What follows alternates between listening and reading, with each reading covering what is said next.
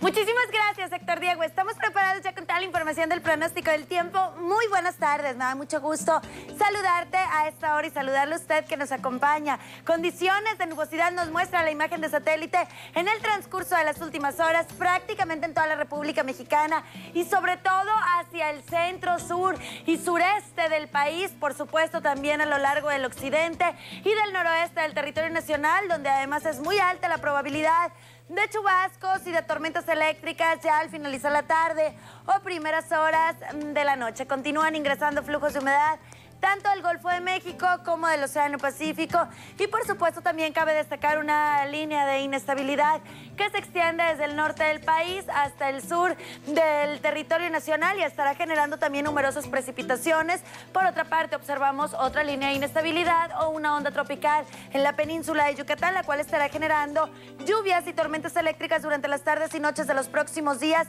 al menos para buena parte del sureste del país. Por lo pronto, pasamos al pronóstico para el centro de la República Mexicana. Y es que el día de mañana van a continuar dominando las condiciones de cielo soleado durante buena parte del día, cambiando a medio nublado ya por la tarde o por la noche, igual con la probabilidad de lluvias y tormentas eléctricas de manera aislada para el área de Querétaro, Tlaxcala, Oaxaca. Las temperaturas máximas las estimamos entre los 26 y los 27 grados, igual para el área de Morelia, 31 en Cuernavaca, 32 en Huatulco.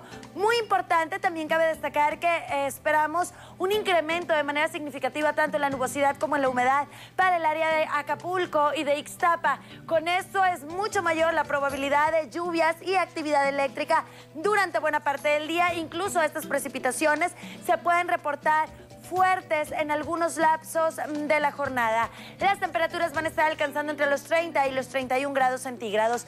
Aquí en la Ciudad de México, por lo pronto, ya se lo habíamos comentado con anterioridad, después de las condiciones de cielo desoleado a medio nublado que se han reportado durante los últimos días para este próximo jueves. La nubosidad va en incremento, esperamos un cielo de nublado a nublado variable. Lluvias, tormentas eléctricas que tienden a ir en incremento, sobre todo en frecuencia y en intensidad.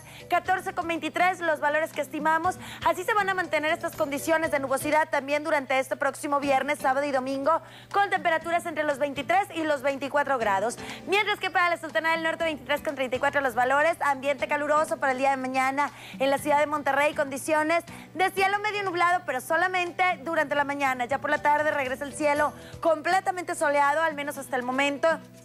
No se observa ningún sistema que pueda cambiar estas condiciones. Soleado también para viernes y sábado. Las temperaturas incluso van a estar alcanzando hasta los 36 grados centígrados. Por ahí del próximo domingo esperamos un incremento en la nubosidad, pero esto ya durante las últimas horas de la tarde o primeras horas de la noche. De hecho, también se abre la probabilidad de algunos chubascos con tormentas eléctricas, condiciones que esperamos de manera muy aislada, especialmente en las zonas montañosas. Las temperaturas sin cambio. Se mantiene un ambiente caluroso con valores cercanos a los 34 o 35 grados centígrados. Mientras que para la perla tapatía, igual para el día de mañana, la nubosidad va en incremento, cielo de nublado, nublado variable.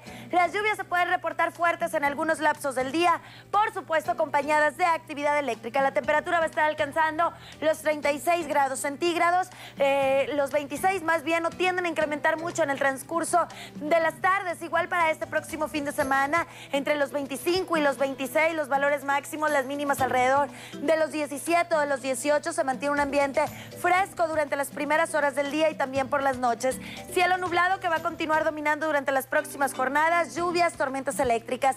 Ahora pasamos al pronóstico para el sureste del país, donde también se mantiene la probabilidad de chubascos y actividad eléctrica de manera muy aislada. Les comentaba, esto asociado a una onda tropical en el área de Cancún, Campeche, Chetumal, así también para Mérida, Villa, Villahermosa, por supuesto, también para el área de Tapachula Chula y Tuxtla. Las temperaturas entre los 34 y los 36 grados centígrados en el área de Veracruz, de Jalapa, igual algunas precipitaciones de manera muy aislada medio nublado para el área de Poza Rica, hacia el noreste del territorio nacional, sobre todo para el área de Tamaulipas. Esperamos un cielo completamente soleado, por supuesto. Las temperaturas muy calurosas en el transcurso de la tarde, con valores cercanos a los 40 grados, sobre todo para la zona fronteriza y especialmente para Nuevo Laredo. 37 en Reynosa y Matamoros, 35 para Ciudad Victoria, Ciudad Mante, 34 para el puerto de Tampico.